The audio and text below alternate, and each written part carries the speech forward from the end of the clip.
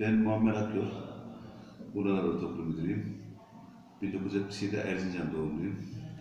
Çocukluğumuz köylerde ve mahallelerde geçti. O yüzden de çocuk oyunlarıyla ilgili e, hocamıza bayağı yardımcı durumdayız.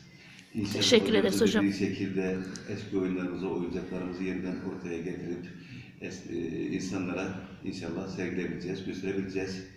İnşallah. İnşallah hocam.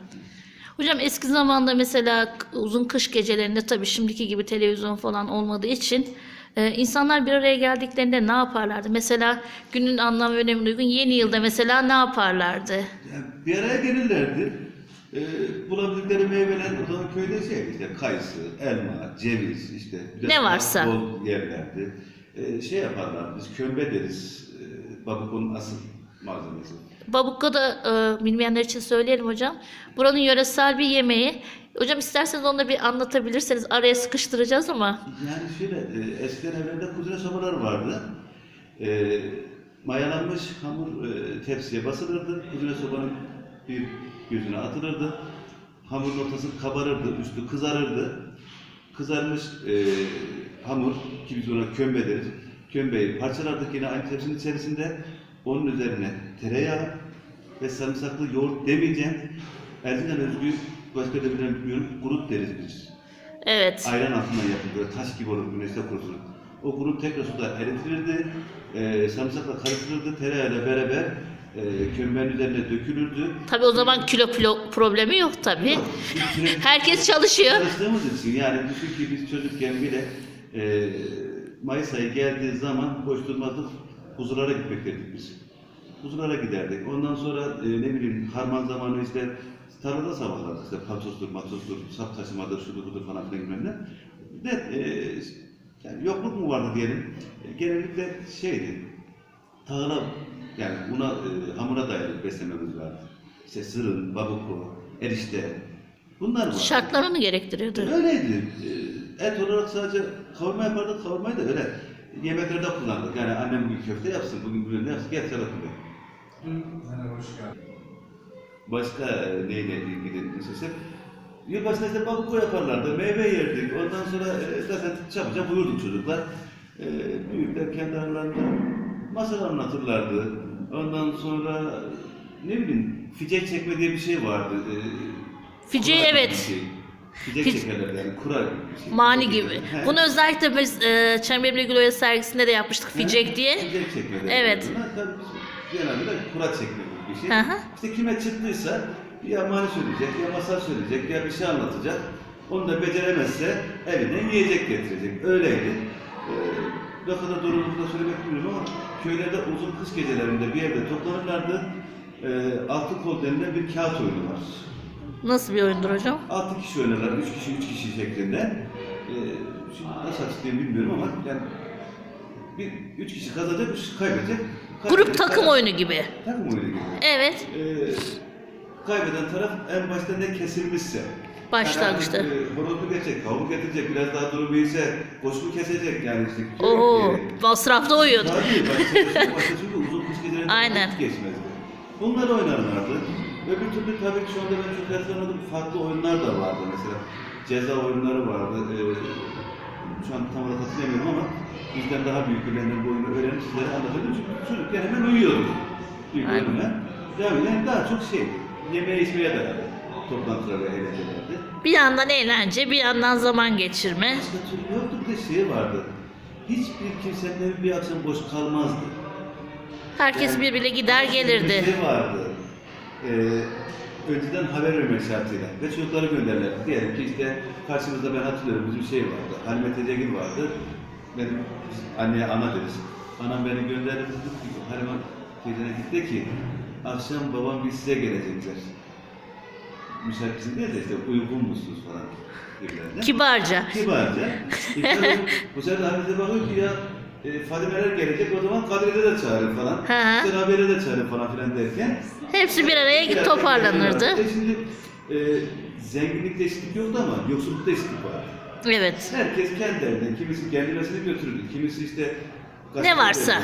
Gazefe, gazeteden yapıyor. Kimisi gazetesini götürürdü, kimisi ceviz götürürdü. Biz çemişleri, dut kurusu. Evet. Ya işte yani herkes, yani birisinin evine gidiyorsun ama Boş gitmiyorsun. Boş gitmiyorsun yani. kesinlikle- Neyse kendince. Her şeyi beraber paylaşıyorduk ve çok güzel oluyordu, çok mutlu oluyorduk. Ama şeyler daha özeldi tabii işte bayramlar, yılbaşı geceleri, Daha farklıydı eğlenceler. akşamları ya da böyle gündüzleri bir de şey vardı. Köylünün ya da mahallenin e, belli dönemlerde toplanıp ya kamyonla ya da e, traktör ramuk deriz biz. Evet. Bunun arkasında ta köyden ekşisiye gerek ama köylüce olsun. Ekşi su dediği de e, hocamın e, Erzincan'ın mesir alanlarından birisi. Merkeze bayağı bir uzak. Maden suylarının çıktığı, doğal maden suyunun çıktığı bir mesir alanı. Yaz geldiğinde okullar kapandığında tabii evlerde bilgisayar yok, tablet yok. Annemizin babamızın gidip böyle oyuncakçı dükkanlarından oyuncak alımı olmadığı için e, çocuk da oyuncağı hasret istiyorsun. Hı hı. İşte kendi oyuncaklarımızı kendimiz yapardık. Ne yapardınız mesela hocam? Ee, dediğim gibi ya tel bulursak telden araba yapardık. Ee, eğer dediğim gibi bu e, kamyonların e, parçalarını atarlardı. Onları biz sökerdik, içlerinden yuvarlak çember gibi bir şey çıkardık. Kendimize çember yapardık. Telle beraber. Evet. Ya da böyle sanayi dediğimiz araba temizlerinin yoğun olduğu yerlere giderdik. Şimdi de roman diyorlar biz bilye dedik. Evet. O bilyeleri toplardık. Tahtalar, tahtalar birleştirip kendimize araba yapardık. Emek vardı. Emek Oyuncakta bile çocuğun emeği vardı. Sonra çamurdan çok oyuncak yaparız. Özellikle kirden. Bu Erzurum yolu değersiz o zaman. Şu andaki çamur yolundan olduğu yer var ya. Evet. Oradan oranın etrafında evler falan yok. Düz alan. Mesela şeydi, yağmur yağdığında kenarlara inerdi. Yağmur çekince kir oluşurdu orada. O kirleri toplardık biz. Ya cam yardımıyla ya bıçak yardımıyla oyarak, şekil vererek tabanca yapardık, küçük otomobiller yapardık. Ne bileyim işte. Aslında o tarz şeyler e, çocuğun hayal gücünü de geliştiriyor. Tabii öyle ki. Yani orada hem el becerisi gelişiyor çocuğun. Sadece oyuncak değil hem de hayal gücü. Şekerler yapardık. Ne bileyim böyle tüfekler yapardık. Tahtadan tüfek yapardık. Tahtadan at yapardık. Ne bileyim şu anda konuştukça aklıma, aklıma Evet. geliyor. Hiçbir şey bulamazsak e, Çok uzun bir zaman değil ama hocam değil mi? Sanki çok uzun zaman 70'li geçmiş yıllar. gibi 70'li geliyor yıllar. insana. Ben 60 doğumluyum. Bu dediğim işte 70'li yıllar. 70'li yıllarda e, sazlıklara giderdik. Fırat'ın kenarında, kanalda. Kamış toplardık. Niye kamış toplardık? Uçurtma yapardık. Eskiden ciltler vardı, defter Hı ciltler. hı. Ciltler de yapardık biz onu. Yani e, bildiğiniz o kağıt uzun tutmalar değil. Evet. Kamıştan yapardık ki daha çok havalansın. Tahta ağır. Kamış içi boş olduğu için. Daha yükseğe çıkardı. İpini nasıl bulurduk biliyor musunuz? Nasıl? Eskiden bu meyve kasaları plastik değildi. Tahtaydı. Evet. Ve etrafında ip olurdu. O ipleri so- O zaman soparlardınız. da mahalle bakkallar vardı. Bakkal hem bakkaldı hem manavdı her şeydi. Bittikçe kasaları kenarlara atarlardı.